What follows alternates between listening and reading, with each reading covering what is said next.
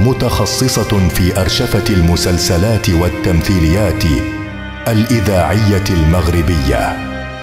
النادرة التي ثبت عبر أثير الإذاعات الجهوية لجيل الرواد بهدف سهولة الولوج إلى أعمال عمالقة الفن الإذاعي المغربي.